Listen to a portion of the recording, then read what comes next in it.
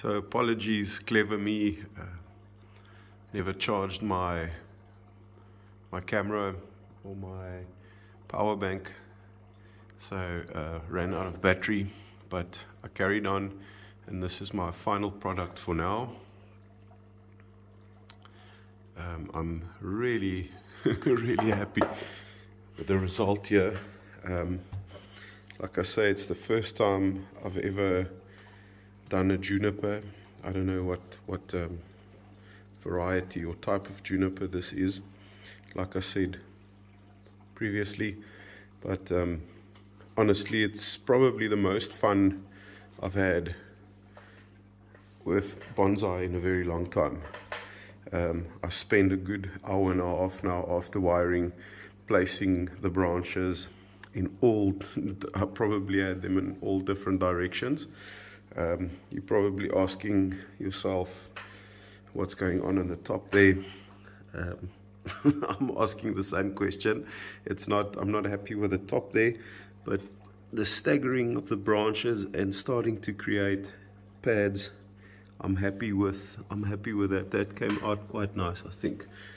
Um, there's, there's obviously more growth on top and I'd like to, to have growth on top and get a, you know, the ultimate outline of the tree, you know, all, all connected with these slight um, uh, uh, deviations between the pads, uh, divisions between the pads that you can just uh, see where the pads are, but then the outline sort of over there and maybe just a like just start a little bit over there grow it around with a nice outline to a point and then back that way.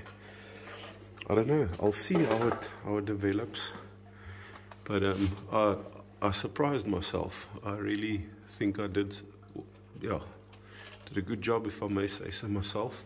This tree has been standing against the wall in the shade for a long time so obviously no growth on the backside. That looks a little bit strange um, I do have a, a after recently um, moving it I, I got some branches in the back. So I'm not pruning that. I'll let that grow. I also did quite a bit of pruning. You can see I did a lot of cleaning up.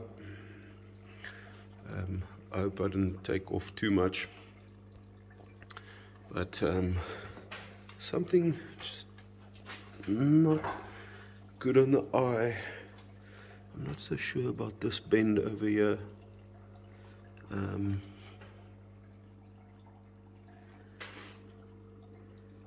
I could I could bring it in a little bit. I'll play around with it, but more or less I went in for these pads. I'll just show you what I've done. I've wired every branch, not the neatest uh, wiring jobs but um, I get the job done.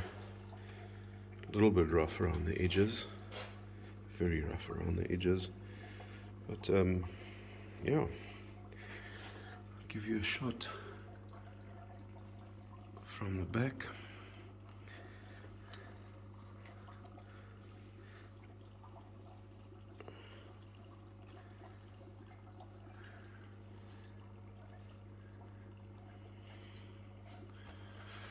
So obviously this juniper uh, that I got at this nursery, they didn't know know what type it was or they didn't have it marked. Um, so I just bought it. I paid like 30 rand for it. So it was basically free. But like I said, it was a straight up stick. And um, now it's in its fourth year that I've had it. I've I've never pruned anything on it. I just wired it once to put that bend in, like I said. Um, and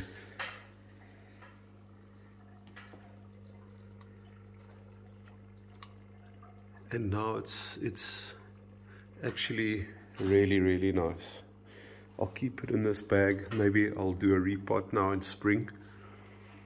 Um, I'll definitely do a repot in spring with fresh soil. I think the soil in here is quite uh, organic black soil.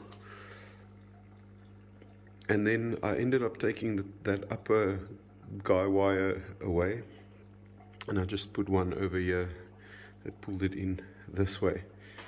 So that's the final product for now and um, I'll put it out in the sun keep it wet and let it grow. Um, yeah what I wanted to say was I don't think it's a really a popular juniper for for bonsai because of the long uh, leggy leggy leaves that it's got. Um, I don't know I might be wrong but the junipers I've seen they go in for something that's uh, more compact growing you know not this like maybe it's leggy like this because I had it in shade I don't know. I'm not sure. But I like it for what it is now. And um, we'll see what it does in the future. Thank you for watching and um, I'll do updates on this tree in the future